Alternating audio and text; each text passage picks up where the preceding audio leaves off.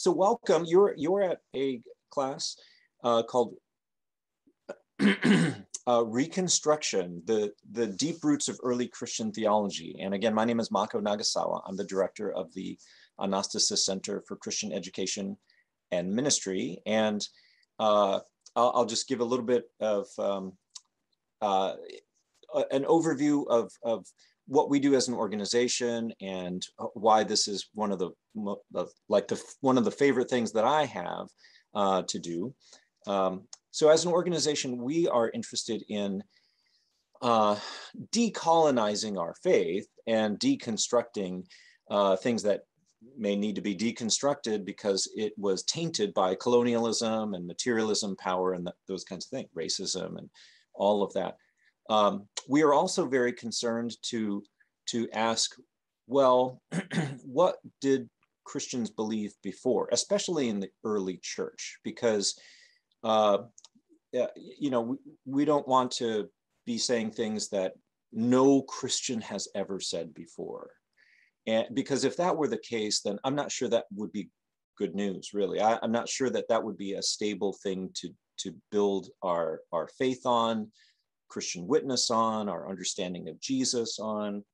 Um, and so we, we do deep dives into the early church. And this is um, probably, you know, something that is near and dear to my heart. I'm really grateful for you to journey on um, with, uh, with one another and with me in it because you know we we don't want to just do deconstruction i think uh, uh, we want to reconstruct what we can and and to really understand you know what is the our understanding of scripture? What is our understanding of jesus? What is our understanding of how has the holy spirit guided the church over time? Uh, and and so this class was kind of born out of that. We're going to do 10 sessions. And uh, let me share my screen now. Uh, share screen. Um, optimize for video, I guess so. Okay. So this is, uh, you're at Reconstruction. This is kind of the outline of the topics that we're gonna uh, talk about together. There are 10 of these. Uh, so as you could see, we start off with Christian ethics, maybe because, you know, those are kind of the, uh, the, the most practical uh, the most applied. So we'll talk about slavery, women in the early church, children in the early church. And then for a few more sessions, we'll talk about the foundations of uh, Christian faith, the canonization of the New Testament.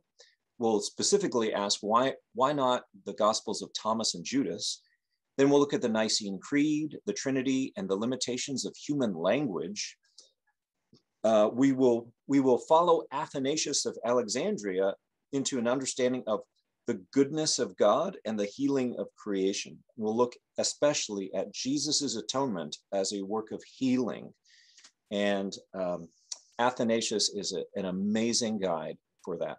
We'll look at hell as the love of God and Christian mysticism and the shaping of desire.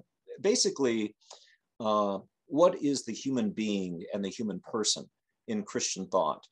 And uh, we'll look at Gregory of Nyssa and the, the vision of ecstasy. He, he has a work called The Life of Moses, which is outstanding. And then we'll come back out into some um, uh, Christian ethics type of topics again. We'll look at Qumran, which is not, uh, I mean, it's the Dead Sea Scrolls and, and things. Um, and we'll ask, what does this mean for Jewish Christian relations? And then Finally, we'll look at Romans 9 through 11 and the topics of predestination and free will, the hardening of hearts, and, and political theology at the ongoing outreach to the Jewish community, and how that could have been uh, really an anchor point for uh, Christian theology to avoid anti Semitism, especially in Europe. All right, so let's dive in here. Slavery, how the early church got it right. Let me just uh, offer a word of prayer here as we start. So, Lord, it's a great privilege to be here with friends old and new. And we are grateful for the witness, the, the, the history, the tradition that we stand in. thank you that there are amazing things to be seen here, especially as we look at this topic. And this, in many ways, is it is very gripping. It'll open new doors for us, I think. And, and I thank you for the chance for us to study together. Uh, be blessed, Jesus, and bless us as we go deep into your word and also how our, our forebearers, um, our, our forefathers and foremothers interpreted your teaching uh, to in a very surprising, refreshing, and revolutionary way. Inspire us here. In your name we pray these things. Amen. okay. So, how did the early church get it right? There's a there's a lot of reasons to revisit this um, this topic.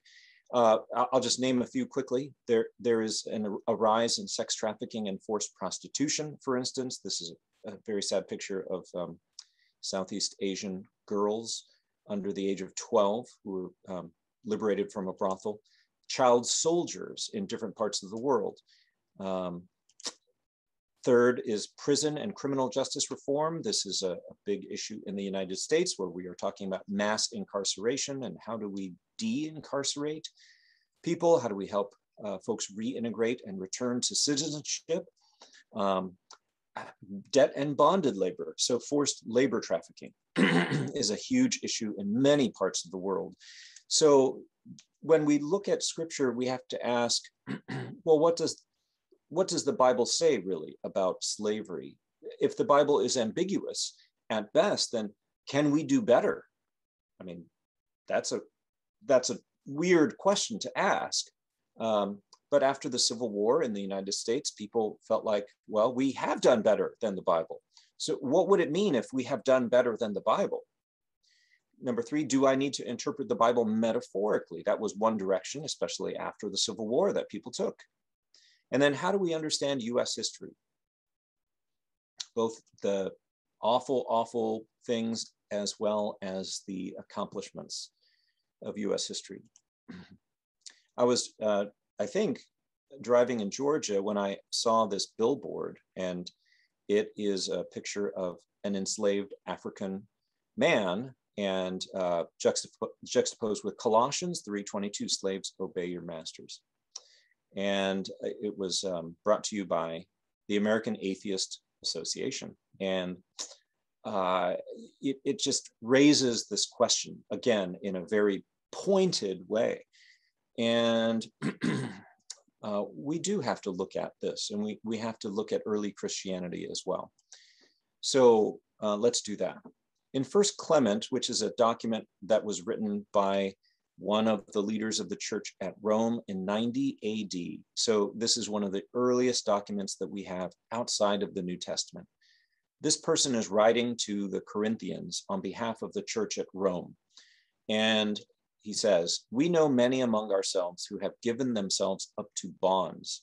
In, in other words, they sell themselves into some form of servitude, perhaps uh, Roman slavery, in order that they might ransom others. it's a broad category, but you could see, oh, they're doing this. They're aware that Christians have done this. Um, also around the same time, Polycarp of Smyrna, who's discipled by the either John the Apostle or John the Elder, um, if that's the same person or different, we don't know, uh, and Ignatius of Antioch. They, they are, he was like third in line after um, Simon Peter led the church at Antioch. They, they are you know, second generation Christian leaders, they free their slaves. So we know that uh, they did that. A guy named Ovidius was appointed Bishop of Braga in more modern day Portugal under Pope Clement in 95 AD. And during his run as uh, a church leader there, he emancipates 5,000 slaves, which is pretty amazing. That's a lot. That's a lot of people. Uh, between 98 and 117 AD, a Roman prefect named Hermas received baptism at an Easter festival with his wife. Uh, we know this because he, he writes a, something called the Shepherd, and we, that's preserved. Uh, he, he is baptized with his wife, children, and 1,250 slaves. And on that occasion, he gave all his slaves their freedom and generous gifts besides. Okay, so he's an important Roman uh, official in the empire.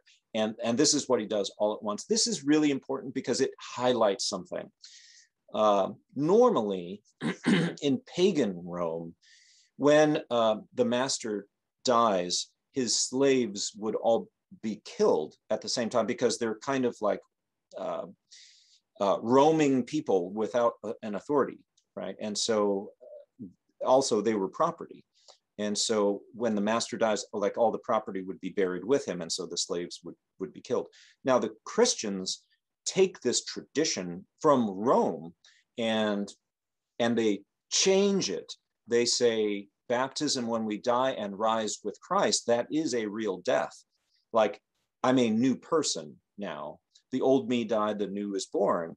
I'm a new creation in Christ. And, and so all of the slaves then go free. We, we give slaves their freedom.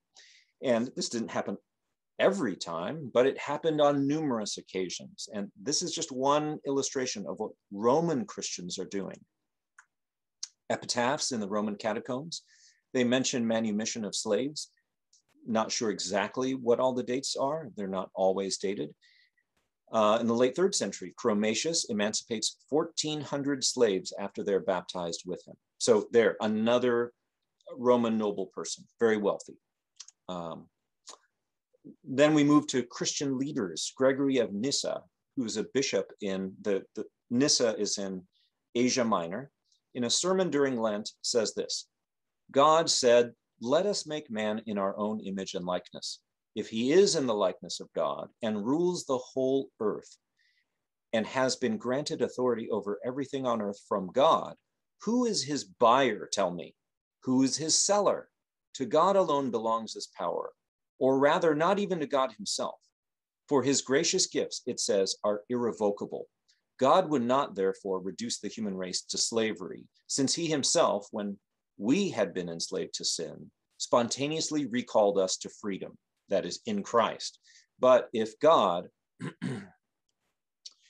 does not enslave what is free, who is he that sets his own power above God's? Sorry, I'm moving this. And uh, we'll come back to this. Notice that he's he's anchoring his argument in Genesis 1. Okay, being made in God's image and also having authority over the earth. The, the issue it, with slavery is if you interfere with someone else's relationship with the land, like the ability to, to uh, benefit and enjoy benefit from the work of their hands and enjoy the creation, then you, you're going against Genesis 1. You see how that's a live question for them. Uh, John Chrysostom, Archbishop of Constantinople, Tinople, he's a heavy hitter, teaches from Ephesians, in Christ Jesus there is no slave. Therefore, it is not necessary to have a slave. Buy them, and after you have taught them some skill by which they can maintain themselves, set them free. And then he says slave marriages and families have rights to stay together. I asked you to consider uh, just different thought exercises uh, by reading some of these passages, Ephesians, First Corinthians, um, and, and other Old Testament passages, which relationships take priority, right? Can a master uh, sell or break up a slave marriage or slave family? And here, John Chrysostom and others will say, no, they can't. There's a document called the Apostolic Constitutions written about 400 AD. And it's a summary of Christian teaching to that point. And it says, as for such sums of money as are collected from them in the aforesaid manner. In other words, you know how you take the offering plate and off, you know, like people put in some kind of offering, uh, designate them to be used for the redemption of the saints and the deliverance of slaves and captives. In other words, some of that money should go not just to like pay the church budget or like you know pay the salary of the priest and the bishop but to be delivering slaves and captives. Oh my goodness they did this regularly.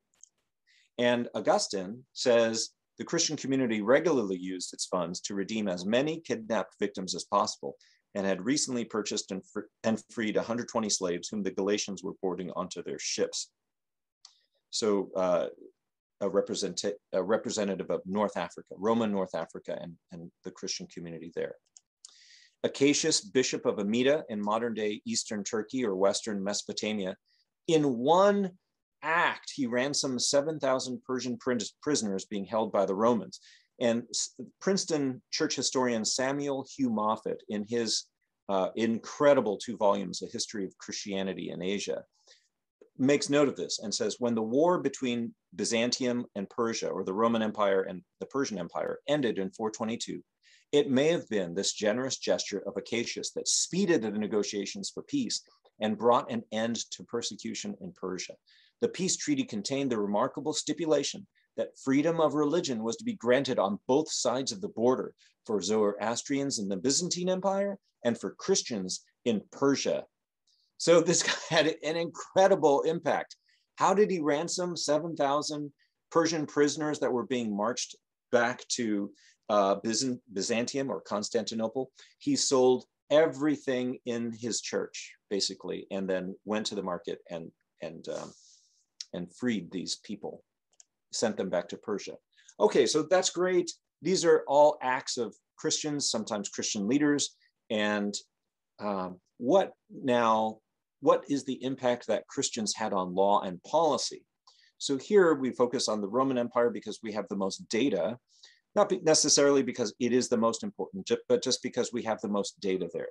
In 315 AD, Constantine um, well, in 313, maybe he becomes a Christian. We don't really know. I'm not taking a position on that because uh, it's hard to say. But the um, if we treat him generously, he does show that he's open to input from Christians. And in 315 AD and beyond, excuse me, he starts to change policies. So he imposed the death penalty on those who kidnap and enslave children. Where does he get that? Well, Exodus 21 is one place, Deuteronomy 24, verse 7, which I had you read. He forbade separating slave families. He made manumission possible at a church service. So it used to be uh, kind of tedious and a lot of paperwork. You had to go before different magistrates. Emperor Constantine basically says, let's just make it as easy as going to a, a Roman, like a, a bishop in the church and saying, I set you free. And then boom, it's done. Why is this significant? Well, Constantine was at best a new Christian in 313. This indicates that the Christian community had a very strong anti slavery position. Because the question is not whether Constantine himself is just like reading the Bible. The, the, the question is how was Christian faith and, and representatives and leaders who now had the ear of the emperor starting to say this is what law and policy should reflect. Uh, you know, another thing is branding on the face was absolutely forbidden. They used to do that, but there was a strong tradition that said that the face reflects the image of God, the human face. And so we don't want to um, mar the image of God. So we don't do that. In 595, a council at Rome uh, did someone want to ask uh?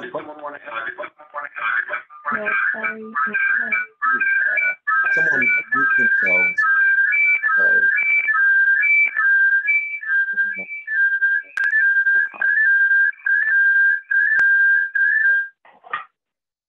okay. Sorry. All right, back to this, back to the slideshow. All right. A council at Rome under Gregory the Great permits a slave to become a monk without any consent from his master. What's that like? It's a lot like Paul's letter to Philemon, right? About Onesimus wanting to um, uh, run away. And, and this kind of seems to say, you know, if ministry is, is what the, the runaway wants to do, then they don't even need consent from the master. That sounds a lot like Philemon. Um, in 649 AD, Clovis II, king of the Franks, frees and then marries his British slave Bathilde. Together, they dismantle slavery in France.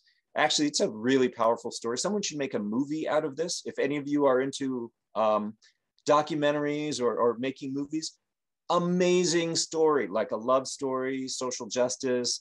It's incredible. In 1000 AD, Stephen I of Hungary establishes basically the, I think the modern nation of Hungary. Um, Christina, you could you could confirm that uh, later. And abolishes slavery. Says anyone setting foot in the uh, on the soil of Hungary will be free. And then in 1102, the London Church Council forbids slavery and the slave trade, which abolishes both throughout England. This decree emancipates 10% of England's population. This is going to come back to influence US history uh, because in uh, 1772, there's the uh, Somerset case where an African man who sails from Boston to London steps off a slave ship and wins his freedom in court. And the American colonies are just upset and terrified. Like, what? What does this mean? in 1117, Iceland abolishes slavery. In about 1300, the Netherlands do so. And by 1335, Sweden, which includes Finland, makes slavery illegal. Uh, the Scandinavian countries have, by this time, by uh, maybe around sure, 1100, 1200, totally stopped the Viking raids. The, the church shut those down. And of course, the Viking raids produced slaves. So you could see like Christian faith is, is making dramatic changes on this issue. So how did these Christians understand the Bible? First, uh, going back to Gregory of Nyssa's sermon called Fourth Homily on Ecclesiastes, they understand that Israel's garden life represented Adam and Eve's garden life, that Israel was supposed to be a restoration in some way of what Adam and Eve and all humanity were supposed to enjoy. If the fall had never happened, we'd still be in a garden land. So Israel is a restoration of that partially. And so when King Solomon says in Ecclesiastes, I acquired slaves and slave girls, Gregory says, What? What is that you say? You condemn a person to slavery whose nature is free and independent. And in doing so, you lay down a law in opposition to God, overturning the natural law established by him. What natural law? Genesis 1. For you subject to the yoke of slavery one who was created precisely to be a master of the earth and who was ordained to rule by the Creator, as if you were deliberately attacking and fighting against the divine command. Take note of that, the way he's arguing. He's saying kidnapping or slave market purchases are totally against the divine command. They are against Genesis 1. Basil of Caesarea uh, says marriage between slaves is just as valid as marriage between free people. The idea is slaves are just as human. You cannot interfere with what? Genesis 1 and 2. Okay, so you get the sense like they are reading Genesis 1 and 2 as this is still valid. There's a tendency, right, for Protestants to kind of think, well, functionally, uh, we begin with Genesis 3, like the fall. But they are reasoning out Christian ethics from Genesis 1 and 2. They are also uh, saying that the human body is made for Jesus by his spirit. Where do we get that insight? First Corinthians 6 and 7. And so Paul says, Do you not know that your body is a temple of the Holy Spirit who is in you, who you have from God, and that you are not your own? For you've been bought with a price, therefore glorify God in your body. Uh, the idea is Jesus is the leading partner in your with your body. Uh, it, and, and then he applies that principle to slavery, marriage, and circumcision in chapter seven. And with regards to slavery, he says this Were you called while you were a slave? Don't worry about it. But if you are able also to become free, rather do that. For he who was called in the Lord while a slave is the Lord's freedman. Likewise, he was called while free is Christ's slave. You were bought with a price. Notice how he is quoting himself. you were bought with a price. Do not become slaves of men. That same principle from 1 Corinthians 6 ties over. Therefore, glorify God in your body also means do not become slaves of men. There's a orientation towards freedom and against slavery, although slavery is a complex institution. So we'll, we'll get back to that. John Chrysostom says, Joseph, though a slave, did not yield to being a sex slave, right, with Potiphar's wife. In fact, there are limits set to slaves by God himself. And up to what point one ought to keep them has also been determined, and to, and to transgress them is wrong. Namely, when your master commands nothing which is unpleasing to God, it is right to follow and to obey, but no farther. That's amazing. For thus the slave becomes free. But if you go further, even though you are free, you have become a slave. At least he intimates this, saying, Be not ye the servants of men. and then let's talk about briefly prostitution, because this is uh, this is a huge issue back then. Uh, prostitutes were supposed to register with the authorities. A state tax on those registered prostitutes was introduced in the first century AD. That's just the Roman Empire. A, Rome, uh, a woman who had once registered as a prostitute retained that stigma for the rest of her life, even if she ceased all professional activity. Although the church fathers fulminated against the commerce of the body with the same ferocity as against other sins of the flesh rampant in the Roman world, prostitution, being a social phenomenon rather than a personal sin, such as fornication, did not, strictly speaking, lie within the spiritual jurisdiction of the church.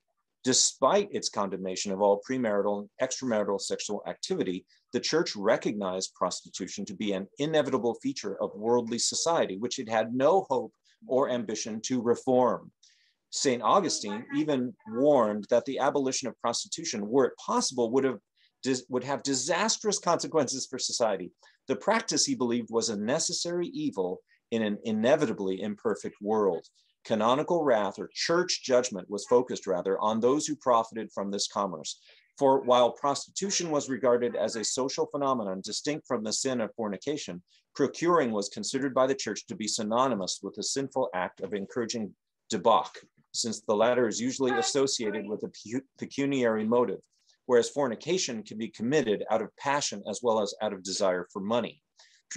Procuring was therefore considered to be a matter of, of spiritual jurisdiction, and strong measures were taken against it at the Council of, of, of Elvira in the early 300s, whose canons were included in most of the major canon law collections of the Middle Ages. I'll explain.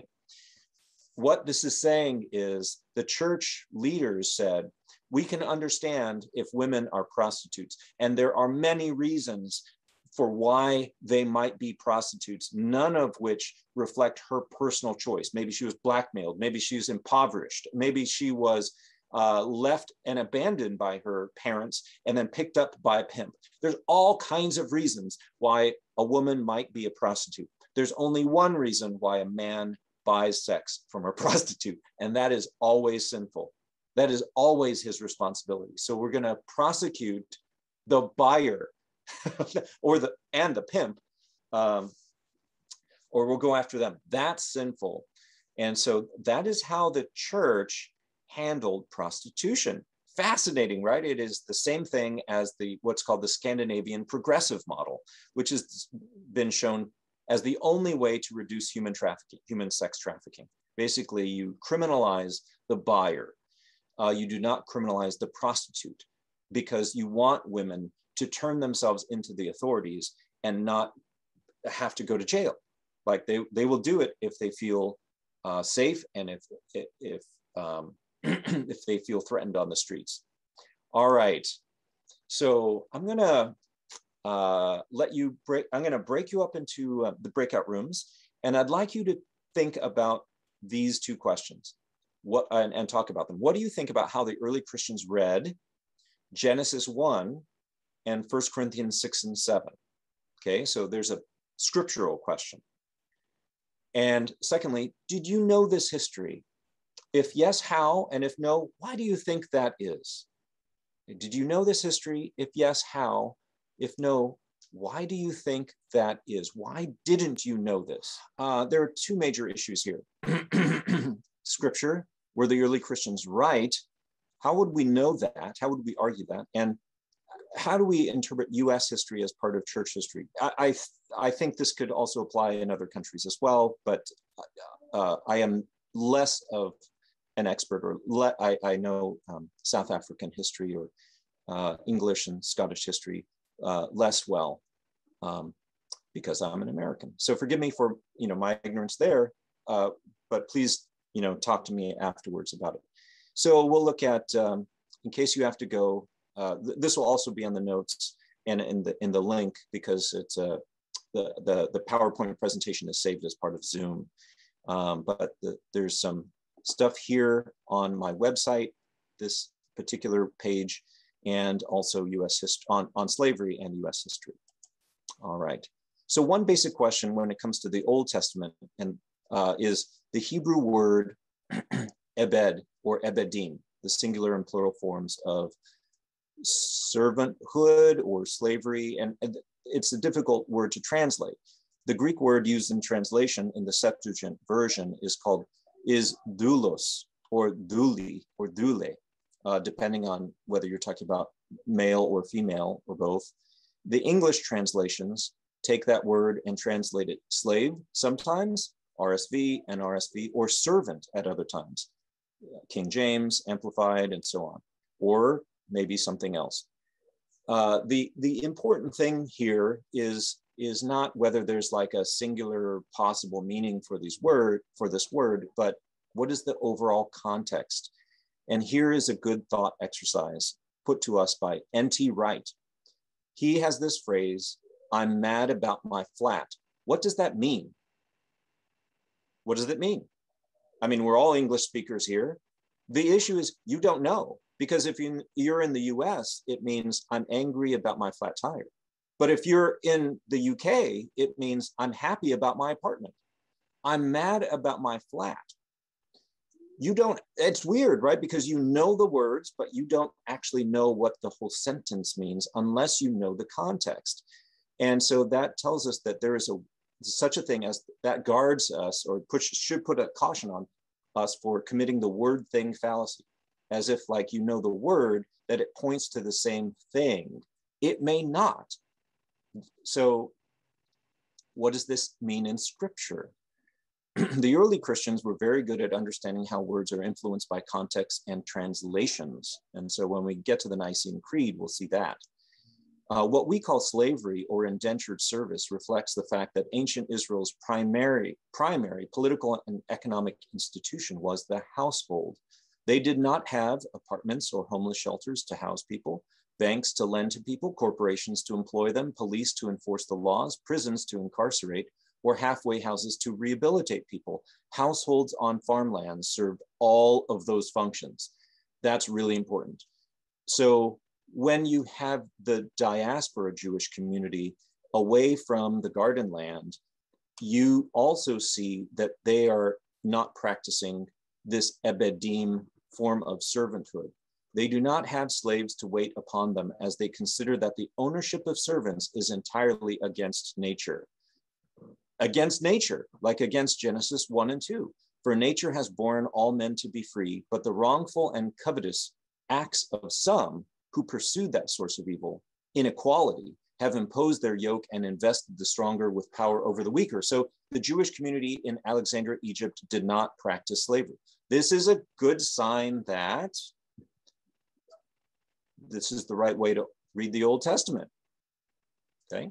It's not just a clever way to read it, but it's the right way. Here, again, Jews in the Dead Sea region, they are not in the garden land uh, it's we'll get to them like what exactly they believed why were they hiding out there or camping out there?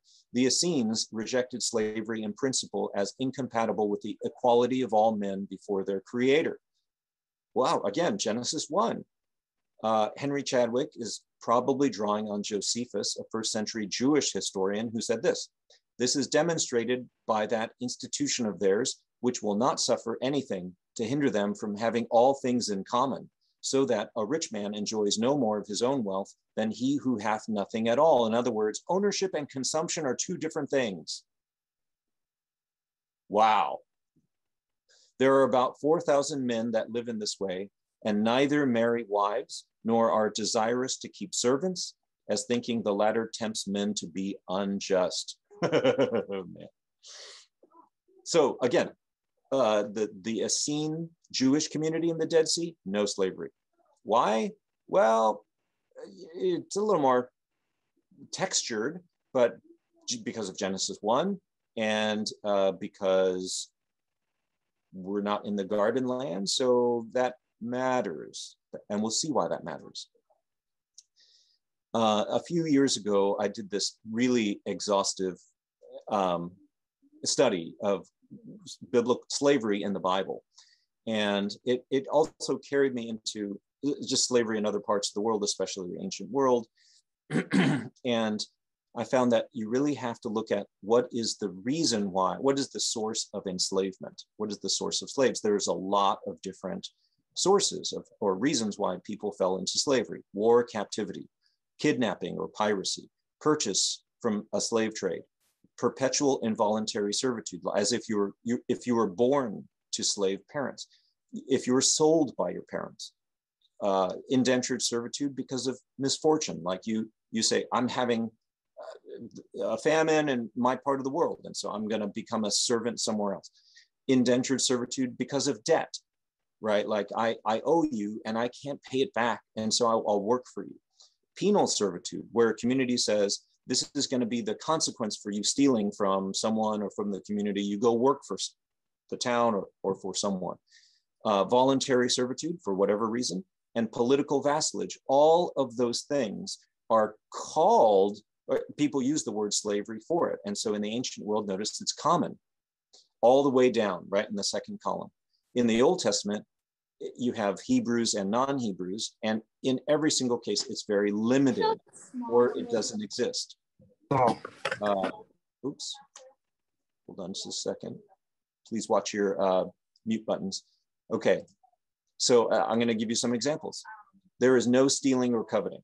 So in Exodus 22, if you steal property like a sheep, then I, if I steal a sheep from you, I have to give back not just that sheep, but two to five times the original amount of what I stole, two to five sheep worth, because I have to rebuild trust.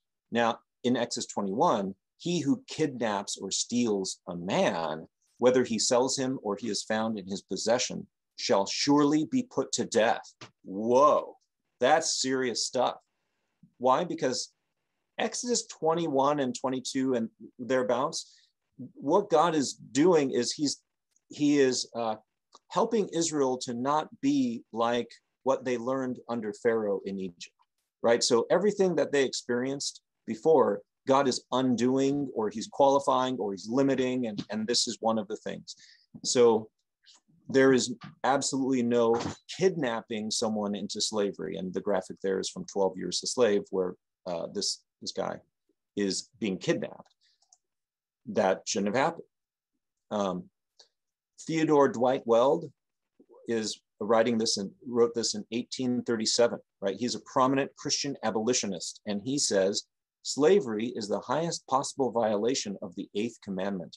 To take from a man his earnings is theft to take the earner, oops, is compound, superlative, perpetual theft. It is to be a thief by profession.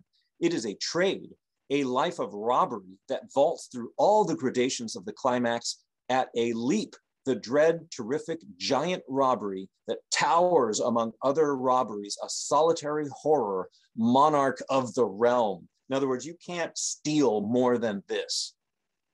to steal a person into slavery. That is horrific. And it, that's, that's how he was reading scripture. Uh, there's no slave trade, for they are my servants, whom I brought out from the land of Egypt. They are not to be sold in a slave trade. In other words, if I owe you something, then I you can't sell my debt to someone else. That would be selling a slave into uh, to another person. So my debt to you is personal.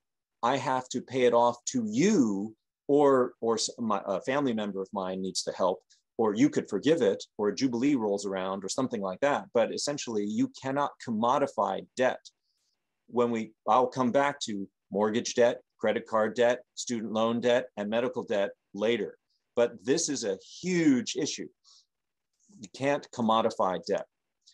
Uh, there's no perpetual servitude uh, because every jubilee, every jubilee year, which is every 50 years, people go free. Or they go free in the seventh year of service, whichever happens first. So Deuteronomy 15 and Leviticus 25 uh, talk about that. In Exodus 21, verses 7 through 11, there this refers to a preliminary form of wedding betrothal for young girls. It reads funny. It's hard to understand, but this is not a sale by parents of the girl into slavery. Uh, the daughter is being sold into betrothal and became a free woman within the new family. She was not a servant with servant duties and not a chattel slave that could be resold. How do we know? Because any breach of marriage contract by the betrothed man or family earns the girl her freedom and the would be husband receives no compensation. Uh, this appears to be a commentary about how Laban treated Leah and Rachel, right? They, but maybe a, with, a, with some variation there.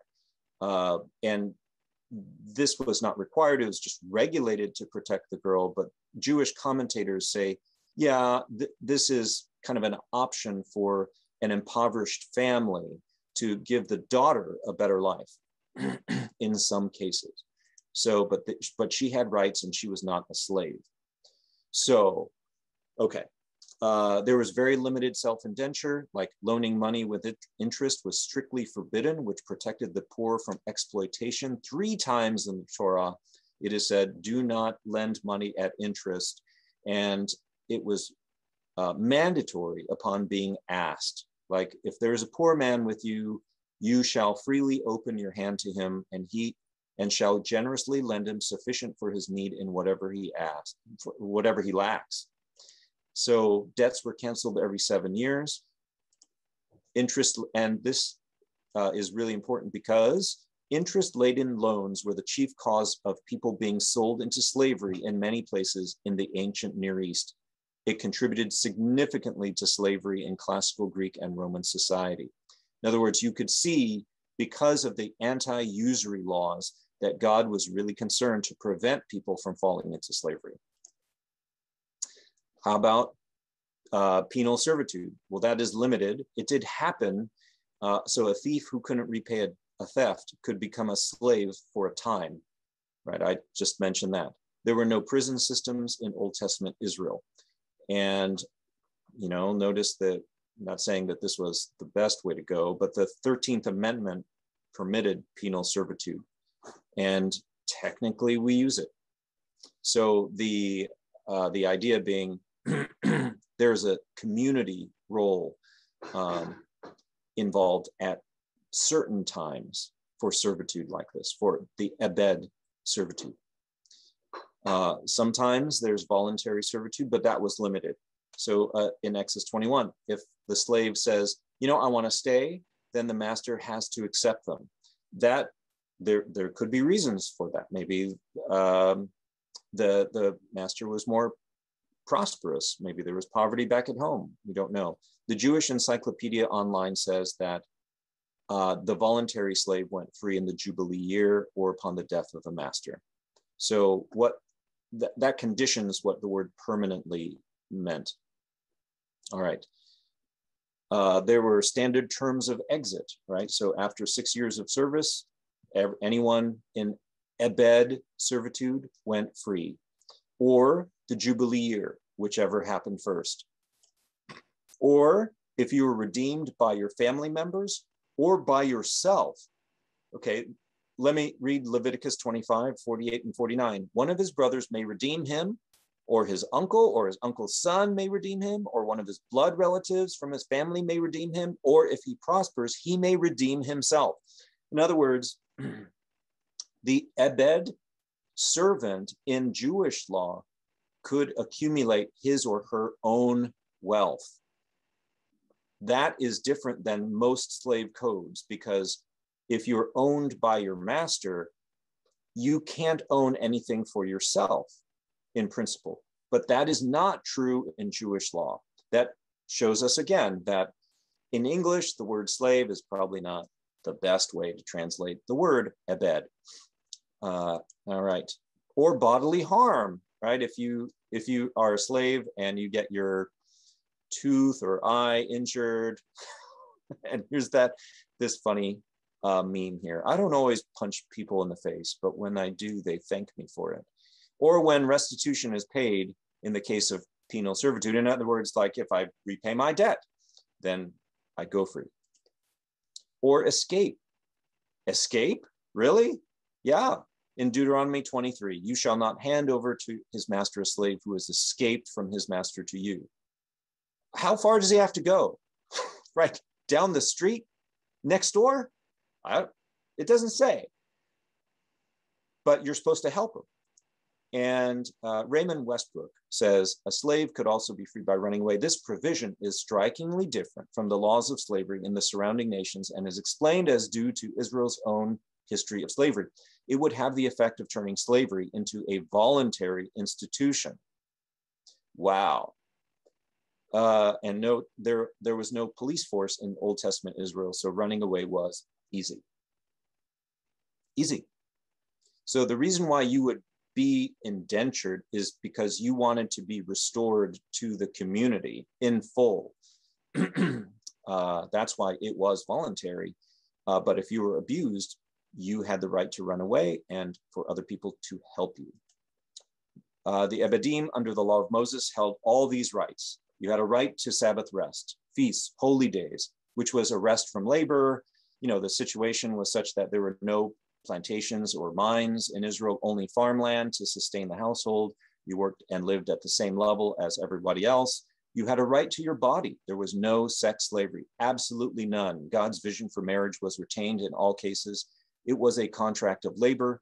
You had kinship rights, marriage rights, and you had personal legal rights relating to physical protection and payments, protection from breach of contract, right to testify in trials, freedom of movement, freedom to own weapons. Abraham and, and Sarah had owned servants or ebedim, and they were armed to the teeth. Abraham sent 318 of them to battle for Lot, Lot's freedom in Genesis 14. So they could accumulate savings, wealth, and property of their own versus other slave systems where personal wealth was not permitted. All right, so remember what we call slavery or indentured service in English reflects the fact that ancient Israel's primary political and economic institution was the household. They did not have apartments, banks, corporations, police, prisons, or halfway houses. Households on farmlands served all those functions. And so anyone who contracted their labor or worked on a household or had the community tell them you had to work on this household yes that was ebedim service. Uh, should that should we think of the transatlantic slave trade in english? No that's not what it was. Uh, slavery of non-hebrews very similar. Um, you can use them as permanent ebedim meaning the contracts of service can extend beyond the Jubilee. That's the context here. In Hebrew, the word buy or bought with money or possessed takes its meaning from the subject to which it is applied. So don't be afraid of reading some translations, or if you know Hebrew, finding that, yeah, these words are used, uh, like you bought someone's service or possessed servants, right, in the 10th commandment. Um, because look at how else how those words are used. Eve bought or begot a man from the Lord, but without money, of course. God bought Israel without paying. In other words, God gained or wrestled free Israel from Egypt. A person who hears reproof buys or gets wisdom without money. A relative could buy or redeem a kinsman from slavery into freedom without owning that kinsman afterward. And in English, we speak of buying politicians' friendship or a person's loyalty without referring to chattel slavery per se. So just because, yes, at times in Hebrew, it sounds like uh, at, at, times you bought a person, uh, it really means bought the services of a person or bought their loyalty or something like that. So to be called a slave of someone else or to have your services and abilities not your body or your personhood, bought by someone was often very positive language to use because it was a relational time. I if even if I'm like a, a king of one realm, I would say I'm the slave of the king of another. Like I'm the servant of that king, a greater king, because there's an alliance there. That's political vassalage. So th- that does not mean chattel slavery. So recall that you have to know the context. I'm mad about my flat. What does the what do those words mean? Well, it depends on the context. So what does ebed or ebedim or doulos or uh, servanthood mean? It depends on the context. So when we get to the New Testament, the church was a, there are some differences. The church was a voluntary community that inherited the institution of slavery from outside itself, not from Judaism, but from the Greco Roman society. And so in Greek culture, you had this elitism. Athens was, well, and Sparta as well, they were the first civilization to use mass slavery. Plato said barbarian slaves were vital in the Republic for all the, they should do all the work, we should do all the thinking. Aristotle said, from the hour of their birth, some are marked out for subjection and others are for rule. So that's how he explained why do we get to rule? Well, we're born better. And Plato and Aristotle owned five and 14 slaves as enumerated in their wills. So we do know this about them. Roman slavery uh, was also very broad. There were many reasons why people were enslaved war, birth, debt, but also career advancement, often voluntarily entered into. Manumission was relatively frequent, but harboring a slave uh, fugitive was punishable by death. So that was Roman law, which shapes Paul's response in Philemon. now, in the New Testament, you have, I, I ran this against the same categories, and I, I come out with this, and I double check against the early church. How, how did they understand it? War captivity. No, they did not uh, view it as legitimate. Kidnapping, piracy? Absolutely not. Slave trade? No perpetual involuntary servitude, like as if you were born to slave parents. No, they did not view it as legitimate. Uh, could you be sold by your parents? No. Now, there were limited, uh, tolerated forms of indentured servitude or slavery or whatever you want to call it. Uh, but we have to pay attention to the context. Misfortune, indebtedness, penal servitude, and voluntary servitude. Christians did accept slave, quote unquote, slavery on those terms. Here's how we can see it. Uh, Jesus offers a new humanity, a new creation, so slavery was not intended from creation. There's no warfare, violence, or land acquisition in, in Christian ethics, so there are no war captives. In fact, Jesus says you have to give up land inheritance and all wealth in principle for the benefit of other people, and that includes slaves. So there's no kidnapping, there's no slave trading or forced enslavement. This is where the New Testament is the most explicit. First Timothy 1.10, 1 Thessalonians 4, 6, and Revelation 18:13. Revelation talks about slaves, not positively. And then Jesus wants to bless all humanity. So there's no racial slavery or categorical slavery based on intelligence or something else. And marriage and sexuality take priority over any other relationship. So there should be absolutely no sex slavery or sex trafficking. Uh, we looked at 1 Corinthians 6, you've been bought with a price, therefore glorify God in your body. We looked at 1 Corinthians 7, you're bought with a price, do not become slaves of men. That parallelism is really important. It tells us the human body is meant for Jesus's lordship by his spirit. And so how can we tell? Because of the parallel phrasing.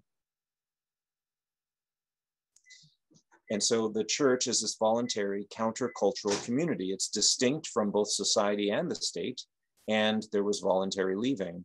Uh, the Christian faith, I mean, people could leave the faith, but what that means is that Christian ethics were for Christians. They were not for non Christians, and evangelism was the primary way of influence. Christians did start to apply sub Christian ethics to non Christians, like Constantine's laws that limited slavery, because it was about harm reduction. And then, you know, Christians didn't have proscribed punishments for crimes and sins because the church is not a state. So, do we know what to do in every single case? No. Uh, I mean, we, we have to think that through. We have to understand the culture and the times. That, in that sense, so penal servitude, yeah, that that's part of the reason why the New Testament, the apostles did not just say, let's go abolish all forms of slavery as they experienced it. If they had said that, they would also be saying, let's do away with all civic punishments and let's do away with all ways of resolving debt. Would they have said that? No, that's not a responsible thing to say. So instead, they subvert it, right? So the, the Christian household is a platform for Christian mission. So households need to be part of Christian mission. They provide space, hospitality, care for the sick and the poor. Slaves and masters have the same Christian responsibilities for love, mission, leadership, and gifting, not just locally, but globally.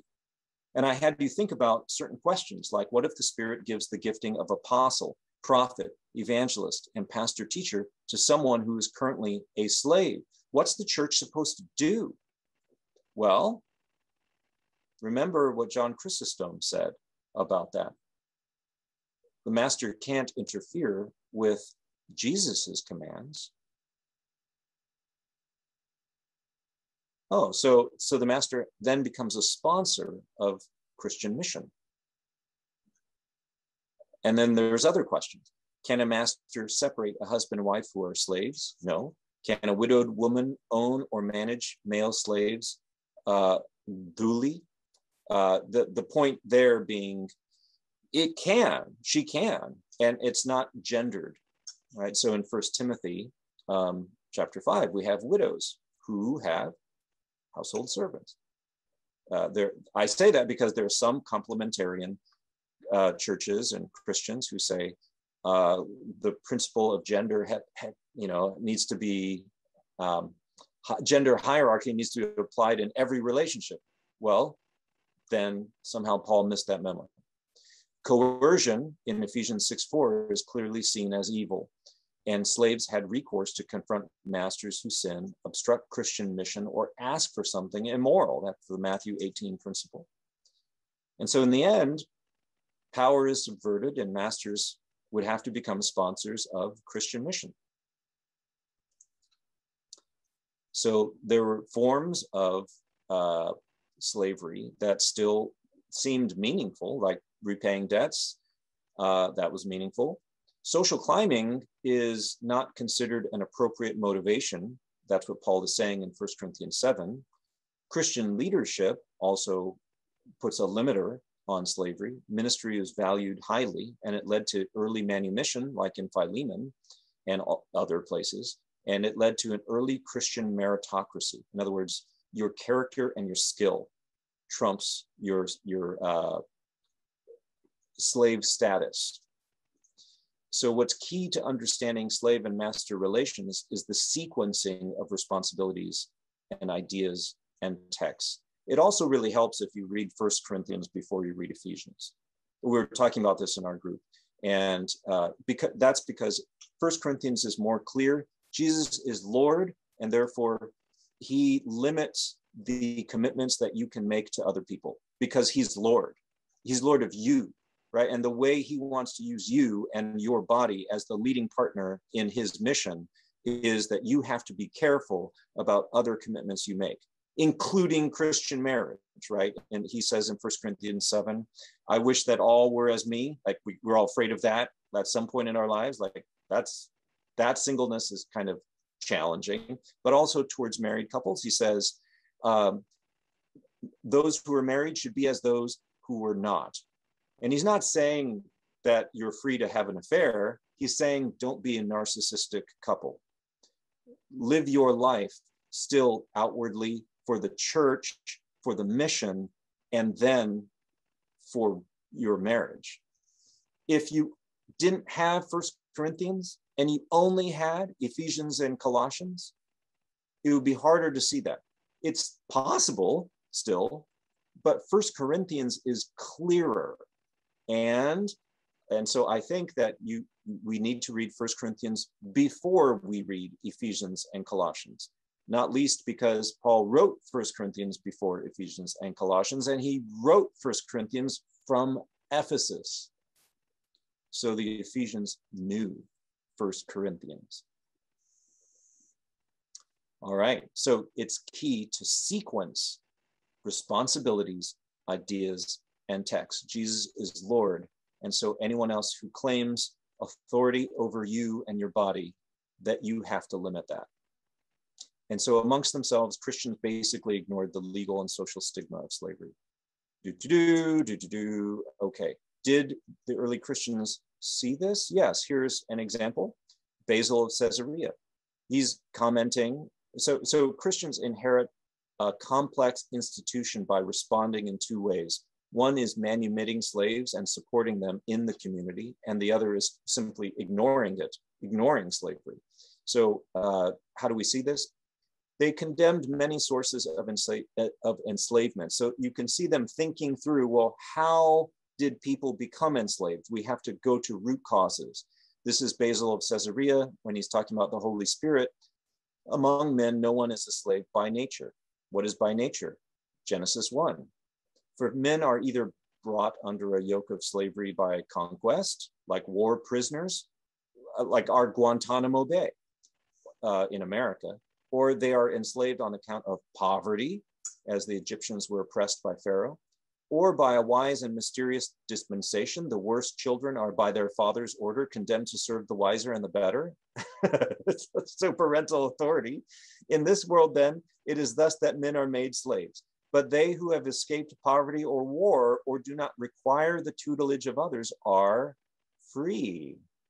That's Basil of Caesarea, uh, really important guy. And he's talking about the Holy Spirit in this book.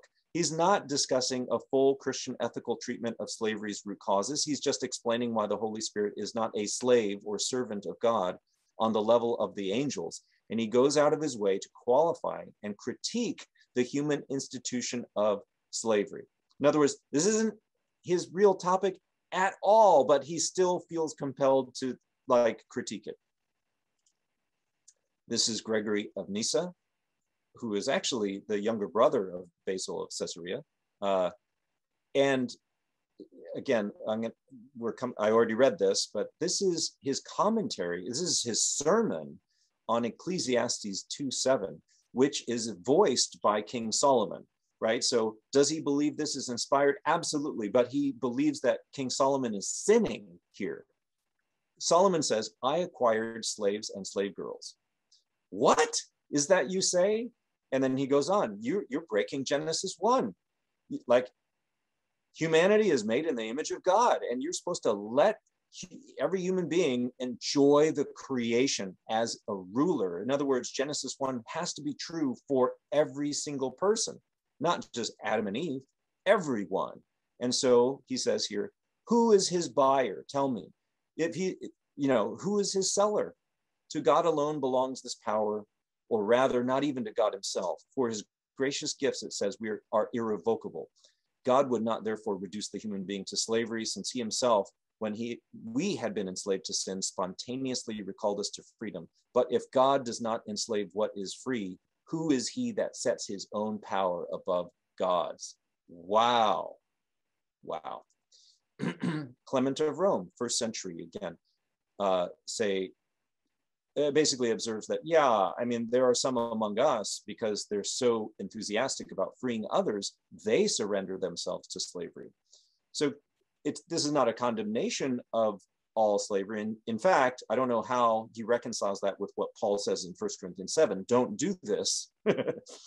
He's just saying he can discern many different reasons for why people um, are in servitude or in slavery.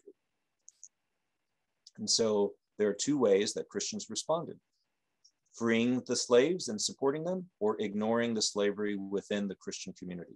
If they do the former, then they, they are condemning different sources of enslavement.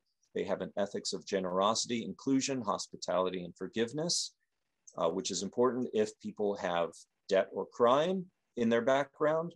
Uh, they integrate newly freed people, and they have a strong leaning towards voluntary manumission, as shown by uh, what the Roman Christians did in baptisms. So they sometimes do that, or they just ignore it They embrace the full humanity of the person with all rights from and responsibilities to Jesus, like don't break up slave families. So uh, Christians did not enslave anyone for three to four centuries.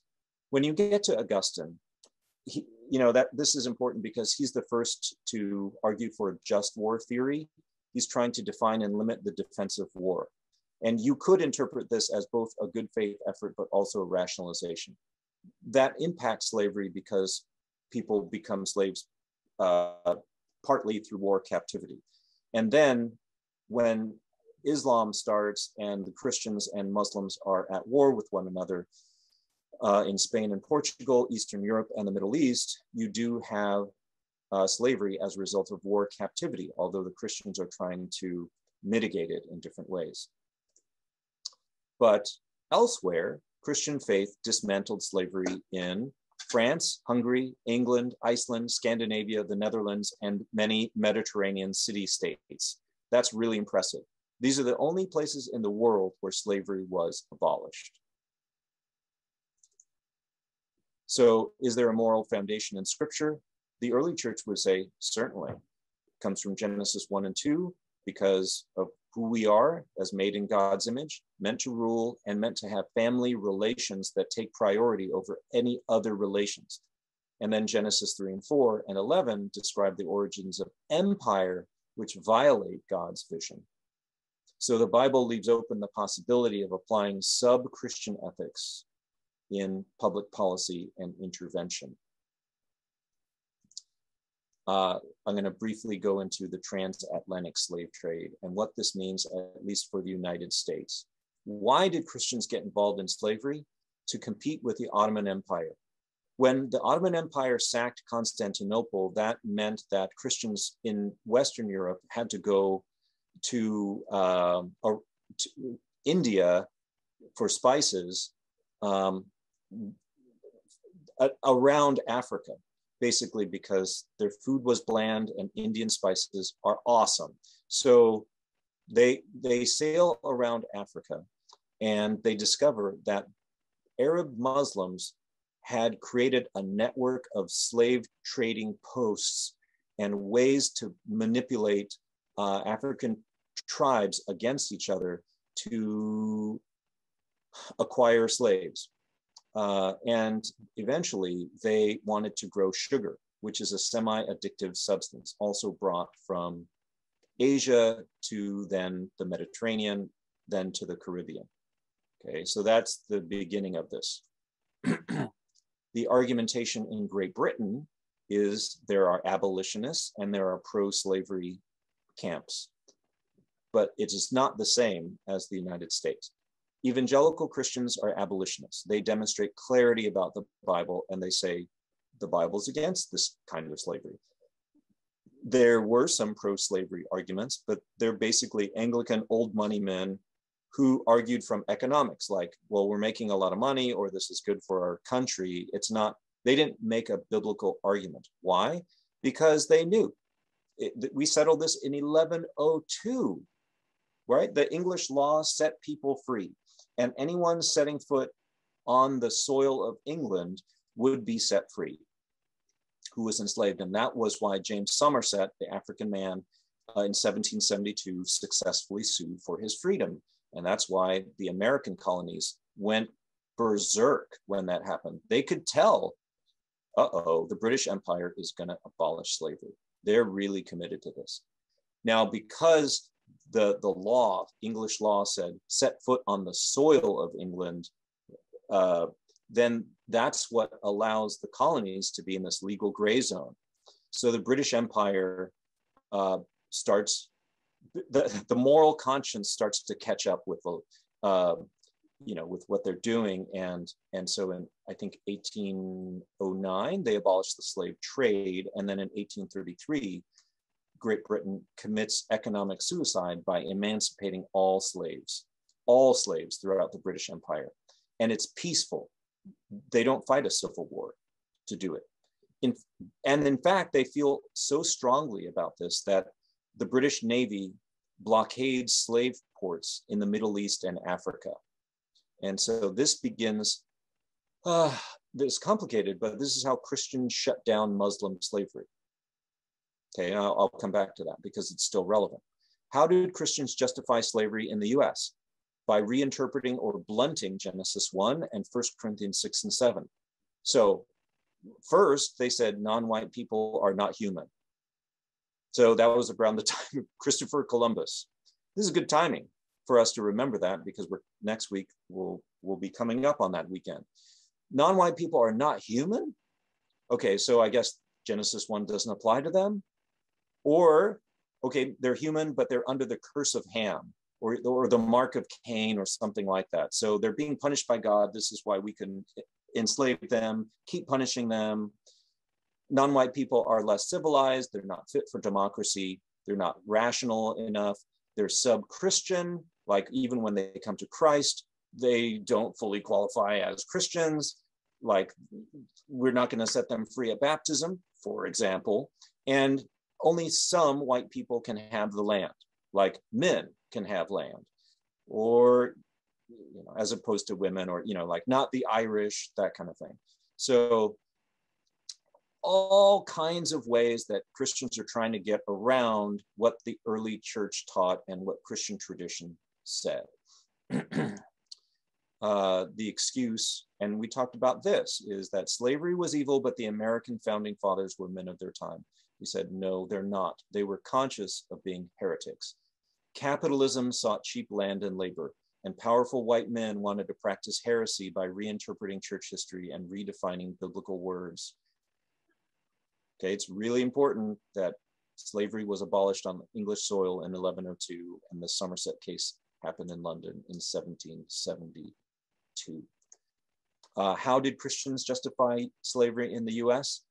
by saying words mean what I say they mean, which is fascist or is proto-fascist. It, and there is a reliance on something called the Scottish School of Common Sense. You could look this up on Wikipedia. The presumption that understanding things should be simple. And so when we say slavery here is slavery in the Bible, well, that should be obvious. It is not obvious. And so here's some questions for us to ponder the challenge, there is a challenge to conservatives here. Now, today, the Christian right often charges the left or the secular left with changing the meaning of words like resurrection or love or marriage. Like these words don't mean what you say they mean, or you're generalizing them. Uh, some liberal Protestant denominations say Jesus was resurrected not bodily, but as a psychological event in the minds of the disciples, so we can have that kind of resurrection and so on. And so the Christian right is worried about this. But here's the thing you started it, right? The, the Christian right began this pattern with slavery and changed a bunch of words and their meanings in order to fit. So salvation becomes salvation of the soul, but not the body. Righteousness becomes legal standing with God maybe it means piety, but it doesn't mean justice, even though that's the same word in Greek, dikaiosune. Like suddenly it just means legal standing without your actual behavior. Justice is retributive and not restorative. And then there's a whole bunch of phrases and, and biblical words and things that then people misinterpret as if six days means six 24 hour periods. That's impossible as if Israel, like biblical Israel, means the state of Israel today at the expense of Pal- the Palestinians who are Christians or who are beloved neighbors. That, that really cannot be true. Or as if the phrase in the clouds, in the clouds means rapture and not Daniel's enthronement motifs, right? Like that in Daniel 7. In the clouds means you're enthroned, it doesn't mean that you're that suddenly the Christians are going to disappear. So there's a, those are real challenges to the conservative Christian right in the United States, at least. But there's also a challenge to liberals. After the Civil War, many uh, progressive Christians who were abolitionists started to snub their noses at the Bible as if we have done better than the Bible since the Civil like even Jesus and Paul didn't abolish slavery, but we abolished slavery. But they were wrong. The liberal progressive Protestants were wrong about doing better than Jesus and Paul. They began because how they were defining slavery was not the same as how the Bible defined it. They began to interpret scripture moralistically and non miraculously, like Jesus' resurrection is psychological, not physical.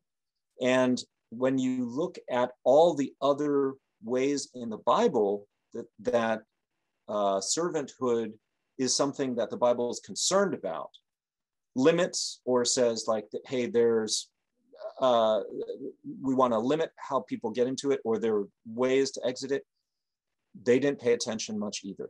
Social gospel liberal Protestants did not address the failure of Reconstruction or white supremacy in the New Deal and US imperialism rarely. And furthermore, liberals share the blame with conservatives for building the prison state. What do I mean here? Well, look at wage theft in scripture. God condemns it. Isaiah 58, James 5. But wage theft in the US isn't even a crime. Stolen wages, the amount of it is greater than all other forms of robbery burglaries, robberies, shoplifting, and auto theft. Put all that together, and it's still less than stolen wages. And yet, wage theft is not a crime. The Economic Policy Institute says 2.4 million workers lose $8 billion annually in the 10 most populous states alone. So that's a real concern. Really, have we done better than the Bible on this? I don't think so. Wage stagnation and declining purchasing power, like in the minimum wage debate, is another angle on this. And job losses, another angle. Meanwhile, we have billionaires, and billionaires are a policy failure. Every billionaire is a policy failure. Debt in scripture. So, what is debt in scripture? Well, the law, the goal of Jewish law is restoration and to have no interest loans. Jesus takes that further. He's like, yeah, give more freely and broadly than that. Debt in the US, what is that like? Well, private indebtedness is huge and it's growing. There are far fewer protections from poverty or bankruptcy, like in 2008. The banks planned on repossessing our home. There were no institutional barriers to that. There still aren't. The wealth gap is larger than ever and it's growing. Just take the racial wealth gap between blacks and whites today. There's an increase of four times from 20,000 to 95,000. What take penal servitude in scripture? The goal of penal servitude in Jewish law, restorative, not retributive justice. People need to be given a chance to work off their debt and be re the community. That's a major priority. What is penal servitude in the US? Not these things.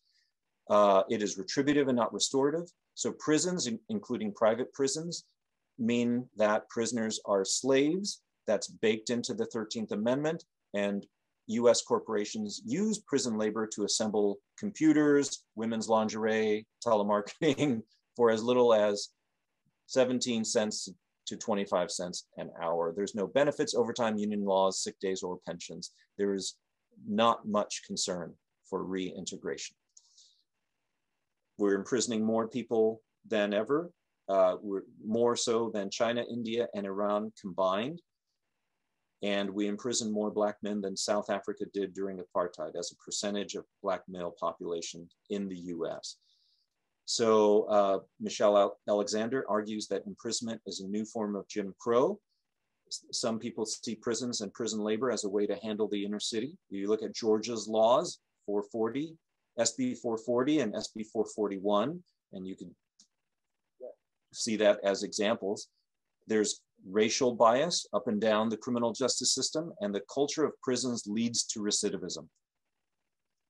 Then, and that's the legal stuff right? That's that's all legal currently in the US. Now, nominally, what is illegal is labor trafficking and sex trafficking. And there's a lot of that around the globe. So, what is needed is a third abolition. People speak of this because the first abolition was the Christian abolition in like northern, northwestern, and northern Europe. Like that was the first abolition. The second abolition was the British abolition, and then yes, after the Civil War in the U.S., there was that was part of the second abolition, and now we need a third abolition. So this is why we're concerned about things like fair trade laws. Uh, one major challenge is Islam. in uh, slavery in Islamic societies is not slowing down. So the Prophet Muhammad en- endorsed slavery. Uh, he took slaves, traded slaves. He said female concubines are permitted. Basically, a man could marry up to four wives and have unlimited concubines. So that is what gave rise to a massive trade in female slaves, not male slaves so much, although that happened too, but more female slaves uh, in the Arab Islamic slave trade. And in Islamic history, there has been no abolitionist movement. Europeans took over the Islamic slave ports in Africa, and then abolition was initially forced onto Islamic countries by the British. So this is a huge deal if you're concerned about human trafficking globally.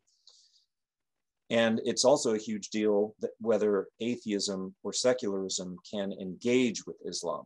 Can atheism and secularism serve as a moral foundation? Well, probably not. John Gray says secular humanism is a Christian heresy. It's a hollowed out version of Christianity. Friedrich Nietzsche said, if you cut the root, you lose the fruit. In other words, yeah, sure, we want to believe that the West, just because it's the cultural West, um, is abolitionist. Mm, that's more the legacy of Christianity, and secularism or atheism probably has no power in Muslim countries. So when scripture expresses concern about slavery, what is it really concerned about? How do people fall into it? And are, are we equally concerned? There, there's also questions about can Christians use force? If so, how? laws by Constantine, Clovis II, and Bathilde, and British evangelicals using the British Navy to deter slave trading raise really important but difficult questions for Christians. Can we do something similar to fight human trafficking? Should we?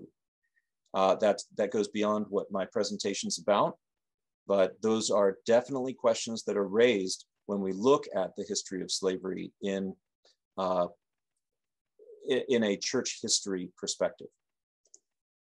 So how to process US history? Well, US history is one expression of plantation capitalism. If you, it, it manifests heresies about land, labor, and people.